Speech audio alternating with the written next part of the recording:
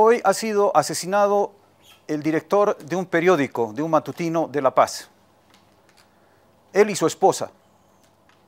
Los dos fueron asesinados con una bomba. Un desconocido llegó a su vivienda en tempranas horas de la mañana, a su residencia en la zona de San Jorge, aquí en La Paz, a dejarles un presente. Pero no era un presente, era una bomba.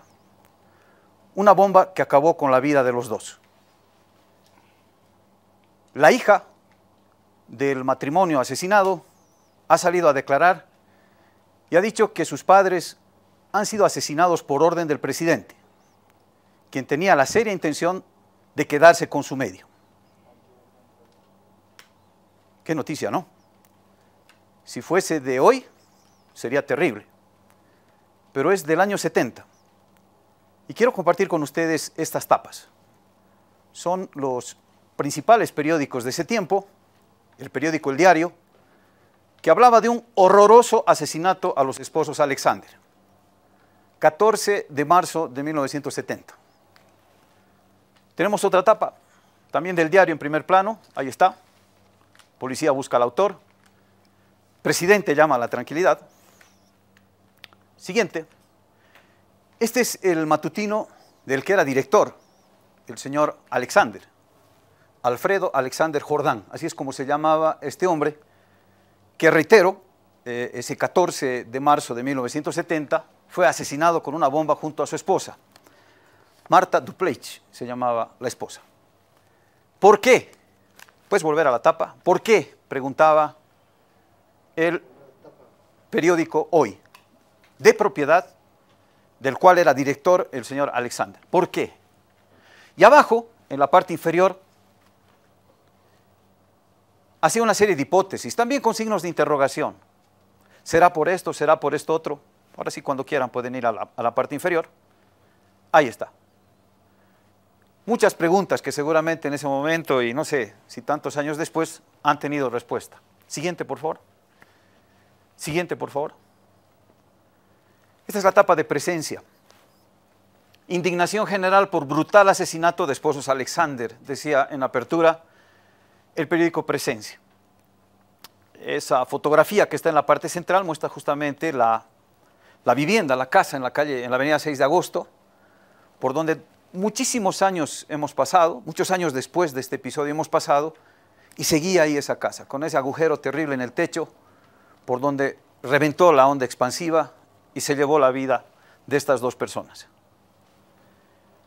Esto fue el año 70, el presidente era Alfredo Obando Candia, militar, era un gobierno de facto, no había asamblea legislativa, y los periódicos andaban con mucho cuidado, andaban con mucho temor, porque el señor Obando tenía por costumbre ir clausurando periódicos en tanto y en cuanto sean respondones, denuncien los atropellos que él cometía, pongan en evidencia las ilegalidades que cometía su gobierno. Entonces lo de, lo de este periódico que después se fue por otra, por otra línea investigativa supuestamente vinculada a una denuncia sobre tráficos de armas hacia Israel, pero el hecho real, y enseguida vamos a ver un par de fotos que son cuando menos conmovedoras y que nos pueden hacer suponer que en efecto se trató nomás de un acto de terrorismo de Estado. El señor Alexander era respondón, el señor Alexander no estaba dispuesto a alinearse a los mandatos del señor Obando, y bueno, ese fue el precio que tuvo que pagar. Esta noche he invitado para que compartamos unos minutitos de conversación a dos eh, queridos amigos, dos grandes periodistas. Quiero presentarlo a Freddy Morales, que está con nosotros. Él es ahora mismo corresponsal de Telesur. Freddy, ¿cómo estás? Buenas noches. Buenas noches, gracias. Qué gusto tenerte acá. Gracias. Muy amable. Junto a nosotros también está otro gran amigo y periodista, Julio Peñalosa Bretel. ¿Cómo estás, Julio? Hola, Buenas amigo. noches. ¿Cómo va? Un gusto. Buenas noches. Muy bien. Bueno, me pregunto y digo, ¿realmente estos son los tiempos o los peores tiempos de la libertad de expresión en Bolivia después de esta, de esta remembranza? A vos primero, Freddy. ¿Qué me habrá querido decir? Em, bueno, es una... eh, ah, he, revisado poco sobre estos hechos. Eh, tu resumen es fenomenal. Eh, efectivamente eran épocas muy difíciles porque eh, un tiempo después hubo el asesinato de otro periodista, ¿no? Em, me acabo de olvidar ahorita, ahorita me, voy a acordar el nombre. Famoso también, gran compañero del gremio. recordemos que era una seguidilla de golpes militares. Estaba en disputa el poder, sin lugar a dudas, en, los años 70 eh, poco después vino el golpe de Banzer precisamente, antes fue el de Torres, de modo que era una situación política exageradamente inestable. bueno, entiendo la indirecta a dónde quieres llegar. Antes, en esa época tan inestable, con terrorismo, como se ha insinuado, o porque no llegó finalmente a determinarse quiénes fueron los asesinos no, no, se desentrañó el, crimen, ¿no? Eh, pero se, hay todas las eh, señas de que era terrorismo de Estado. Entonces, después de semejantes épocas que vinieron, luego vino Banzer, el 71, eh, el pretender decir, compararlo nada más que con este, todo este episodio de democracia, con todo el episodio de democracia, con sus altas y sus bajas, querer comparar ese periodo y decir estábamos mejor en dictadura que lo que estamos ahora me parece eh, desatinado, para no, usar algún término que pueda herir algunas, alguna susceptibilidad, ¿no? Eh, no tiene ninguna relación con la realidad, nada. Solo comparar lo que sucedía en aquellas épocas, en los años 69, 70, 71, 77 hasta que termina Banzer, hasta que terminan las dictaduras. Recordemos que hubo Espinal, que fue un hecho terrible. Lo torturaron, lo secuestraron, lo torturaron. Hubo el asesinato del padre Lefebvre en el día del golpe de Estado de Banzer.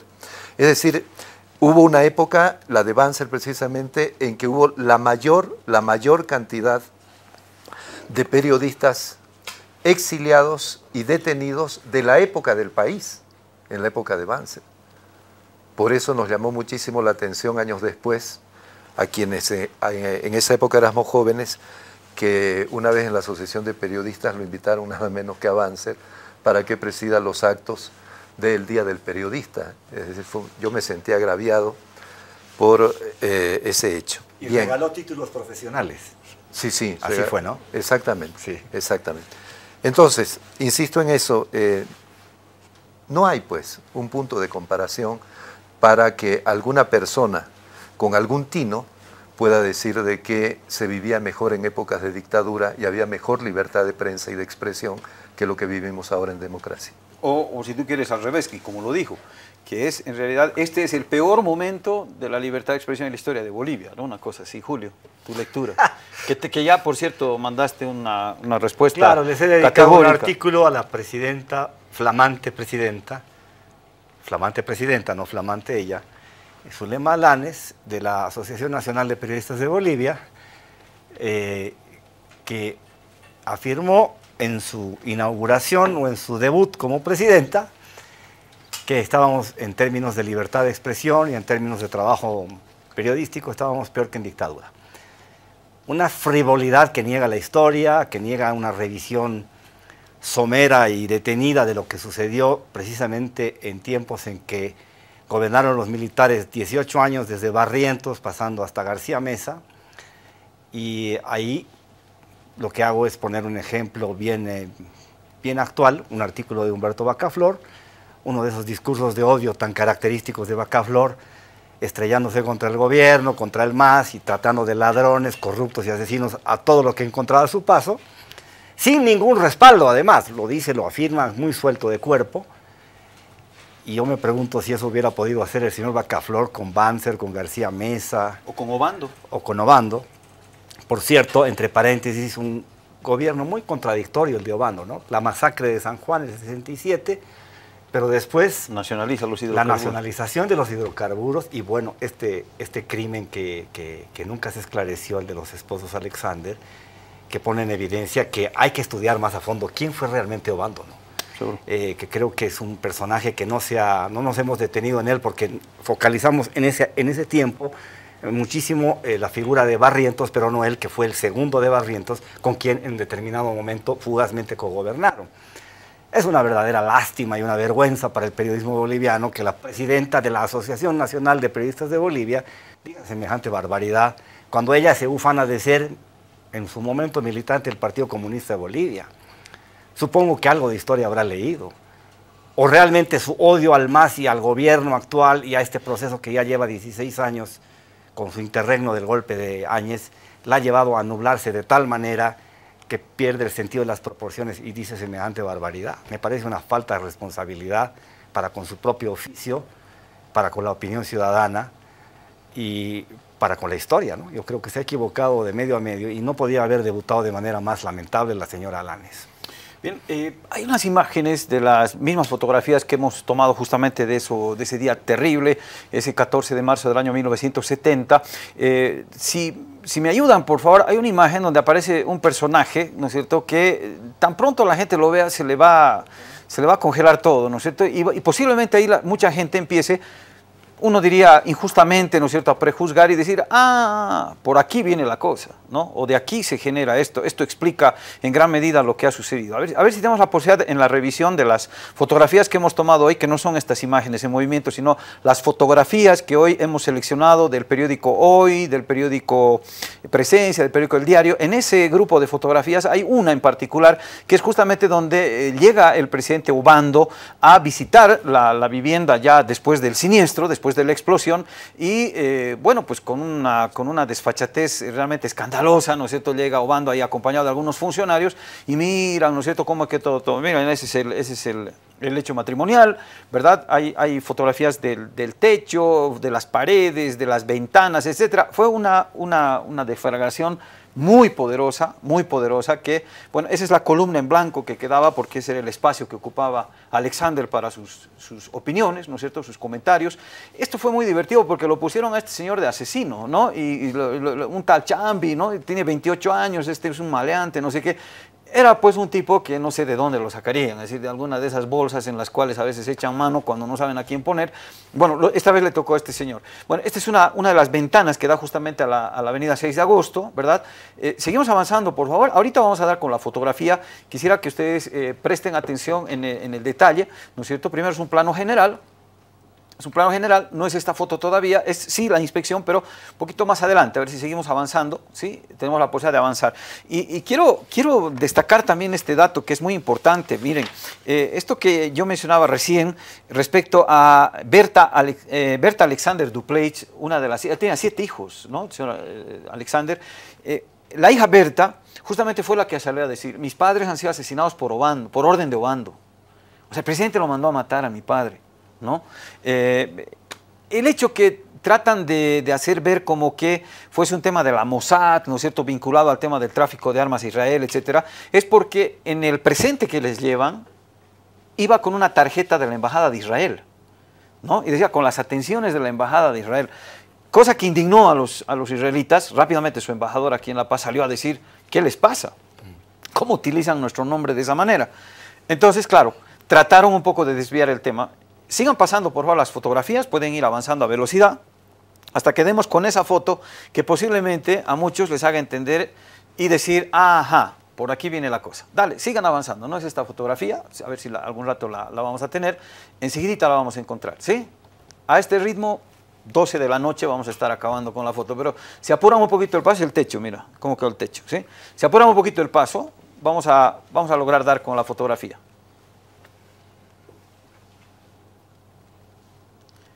Sigan pasando, sigan pasando. Es una fotito donde está el señor esa, ese es el ritmo, ese es el ritmo, vamos son todas las repercusiones que hubo ese día, la indignación en Bolivia, la indignación a nivel internacional, el rechazo de los periodistas, de los trabajadores, en fin, fue una, un momento de, mucha convulsión aquí en la, en la ciudad de La Paz, ¿no es cierto? Y claro, bueno, esa pregunta que hasta hoy todavía sigue vigente.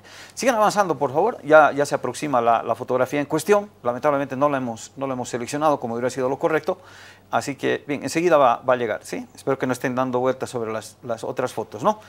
A ver, vamos a ver. Enseguida se aproxima. Yo tengo la certeza de que viene. ¿Sí? A ver, vamos, un poquito más adelante. Sigan avanzando, sigan avanzando. Son todas fotos del episodio. Todas fotos del episodio. Ahí, ahí, ahí, ahí deténganse. La anterior, por favor. La anterior, la anterior. La anterior. La anterior. Ahí, la anterior. Este es un plano general. Obando está a la izquierda, de saco negro. No sé quién será el señor del medio, posiblemente. Juan Ayoroa. Juan Ayoroa. General Juan Ayoroa. Ministro del Interior en ese Ministro de momento. Gobierno. Y miren quién está al lado de Ayoroa. Luis Arce Gómez. Sí, señor. A ver, ponle, ponle, ponle. Siguiente foto, por favor. Van a ver ustedes. Siguiente foto. Y siguiente foto, por favor. Siguiente foto. Ahí lo tienen. Cara conocida, diría alguien. Años 70, ojo. Años 70, sí. O sea, esto es 10 años antes de- del golpe de García Mesa, en la que este ciudadano, el de la derecha, Luis Arce Gómez, tuvo un rol fundamental. Es decir, hizo la parte más escabrosa de la historia. ¿Verdad? Entonces, claro, mira nada más. ¿Mm? Mira nada más. ¿Cómo es la historia? La hija del general Juan Ayoroa era nuestra compañera de curso en la Universidad Católica Boliviana. Es un señor que quiso ser alcalde de La Paz en algún momento, ¿no? Vinculado a UCS, Se entiendo. vinculó a Max Fernández. Correcto. Sí. ¿Qué momento? También es el eh, señalado, ¿no? El autor de lo de Espinal, Seguro. Arce Gómez. Seguro. Claro que sí. A través Diez de- años después. Exacto, ¿no? Era el director de inteligencia. Y por estos días, fíjate, porque a, Marzo. a Espinal lo matan en marzo. Claro, en marzo. El ministro del Interior era Celum. Sí, ¿Apellidaba sí, sí. Celum. Sí, sí, claro. Así es. Volviendo a intentar hacer un parangón entre la época de las dictaduras y la, demo- y la libertad de información y expresión ahora, eh, me llamó la atención el hecho de que se hable de que en la dictadura decía, eh, se- nos daban culatazos, ¿no? Y que habían eh, eh, sensores de prensa en las redacciones de las radios, de los periódicos. Y, y si después de eso, decir, en las dictaduras me daban culatazos y habían sensores de prensa y decir, ahora estamos peor que en la dictadura, la única explicación que encuentro es eh, de que hay un problema de... porque no hay una coherencia, ¿no? Entonces eh, deben haberle gustado los culatazos, digo yo, ¿no? Para, para que estar, para decir antes vivía mejor, cuando me daban culatazos estaba en mejor situación, ¿no? Eh, me llama la atención por eso. Y retomo lo que dice Julio, en sentido de que parece que en algunos niveles del periodismo se está imponiendo un criterio excesivo, de excesiva politización, para llegar a extremos que esta es una anécdota, pero hay extremos peores. Hay un informe, por ejemplo, gringo, Julio, de, enviado por nuestras organizaciones profesionales a la CIT, a la Comisión Interamericana de Derechos Humanos de la OEA, eh, que es canalla. ¿Cómo se miente sobre el golpe de Estado de 2019, sobre los hechos de 2019, si alguien le ofende que se diga golpe de Estado? Pero es canalla cómo se miente. Y resulta que lleva la firma de nuestros máximos dirigentes del periodismo asociado, del periodismo, del periodismo profesional. Es decir, a esos niveles se está llegando, creo yo, por una obnubilación, ¿no? Puede ser que sea racismo, incluso digo, que no sea solo política, sino racismo. Porque yo siempre eh, comento esta historia. Cuando Gonzalo Sánchez de Lozada estaba de presidente, era como chistoso, como simpático la forma en que hablaba Gonzalo Sánchez de Lozada. ¿no? Tenía el dejo de las, eh, de las personas, de los gringos que hablan el español bastante mal. Evo Morales leía, tal vez sigue leyendo, bastante mal, leer textos, repetir textos, que ha tenido, no ha tenido la licenciatura en filosofía ni de cine de Gonzalo Sánchez de Lozada. Y yo escuchaba muchísima gente avergonzarse de Evo Morales, pero festejar a Gonzalo Sánchez de Lozada. Claro, es divertido. El otro no, no sabe hablar. Tiene que ser racismo, tiene que ir por Racismo puro. Racismo es. Nada más. ¿O no? Sí, no, de acuerdo. De acuerdo. Bueno. Bueno, Julio, eh, si con esa noticia con la que introducimos este momento hubiese sido cierta, que esta mañana mataron al director de un matutino, caramba, que, que deberíamos estar preocupados y, debiéramos estar suponiendo que en efecto, no sé si estamos peor, pero estaríamos igual. Parecido. Por lo menos igual. Por lo menos igual. ¿no? Igual que en esos tiempos, pero bueno, en fin, son, son lecturas, son percepciones, a veces eh, con un tipo de cristal, ¿no es cierto?, que, que hace ver otro tipo de cosas diferentes, ¿no?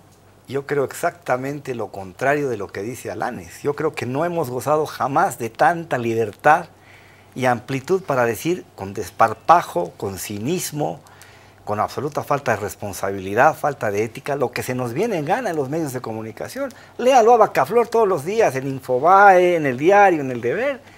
Dice que Bolivia se ha vendido a la China y estamos en manos de los chinos a propósito de la firma de este acuerdo que tiene que ver con la explotación del litio. Listo, se acabó el cuento. No habíamos llegado a esos niveles nunca.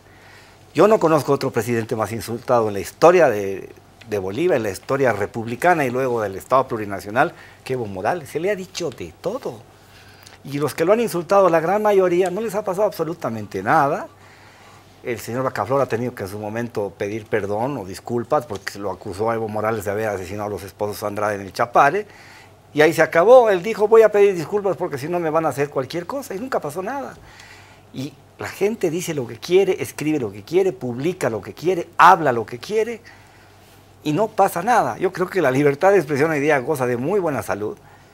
Independientemente de que puedan haber algunos rasgos algo autoritarios, algunos excesos verbales de algunos capos de la política y que detentan el poder, pero eso no tiene absolutamente nada que ver con el manejo que se hacía de la relación entre el poder y los medios de comunicación en tiempos de dictadura. Es una, una frivolidad, superficialmente hablando, pero es una falta de responsabilidad periodística y profesional para decir lo que ha dicho Alanes. No, lo de Alanes es una verdadera vergüenza. Yo la invitaría a revisar un poco la historia y por ahí se anima por vergüenza y por, por sentido ético de la profesión, para honrar la profesión, a presentar su renuncia al cargo, porque realmente estrenarse así como presidente de la Asociación Nacional de Periodistas de Bolivia, yo no recuerdo que haya alguien que se haya estrenado de una manera tan, tan patética y tan penosa. Ahora que hay problemas, los hay, ¿no? En el, ejercicio del periodismo, siempre los ha habido. siempre van a haber. Eh, uno va y se mete a una manifestación y sabe pues lo que, puede pasar algo. Según dónde te pongas en la manifestación, es decir, lo que te enseñaban antes cuando salíamos a la calle a hacer reportajes y ese tipo de cosas, sabíamos que si nos poníamos en uno de los frentes corríamos el riesgo de que nos llegue algo. Es, inevitable.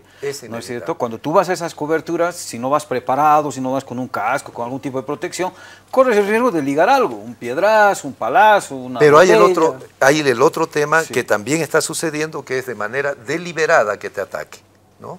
Por ser de tal medio, entonces te atacan porque sos de tal medio, porque no le gusta lo que el medio o lo que vos informaste, ¿no? El, em, solo para hacer una comparación entre la, si se vivía mejor libertad de información de prensa y de medios en las dictaduras o ahora, hay que hablar con los compañeros de aquí del canal. ¿Cómo la pasaron el 2019? Simplemente hay que escucharlo a los compañeros, sentarse y que te cuenten los compañeros. Cómo los acosaban, cómo los seguían, cómo los amenazaban. No eran los únicos, están los compañeros de la razón. Entonces, que alguien del gremio diga eh, que la dictadura era mejor, que ahora, ahora estamos peor que en dictadura, por, e, insisto, es decir, eh, debe tener eh, muchos sinónimos para calificarlo, pero creo que es por lo menos una desubicación. Por decirlo de manera considerada. Tú, siempre, tú siempre tan considerado, Freddy. Seguro. Oye, les agradezco a los dos, ha sido un placer. Y bueno, ahora sí ya me quedo más tranquilo y voy a seguir diciendo lo que pienso. Claro. Y cualquier cosa que me pase los busco a ustedes. Todo nuestro apoyo. moral. moral. Moral, Búscanos antes de que pase. Sí, trataré, trataré. Vale. felicidades, Gringo, por tu trabajo, hombre. a ustedes, a ustedes, felicidades. Estás en un gran horario que te permite dormir un poco más tarde y por lo tanto recibir mensajes a una hora razonable. En efecto, en efecto. Porque te mandamos mensajes a las 7 y estabas durmiendo, porque tenía que levantarte a las 4. Qué loco. porque que lo invites a uno a tu programa. No, por favor. Muchas gracias. Una, alegría, un placer. Muchísimas gracias.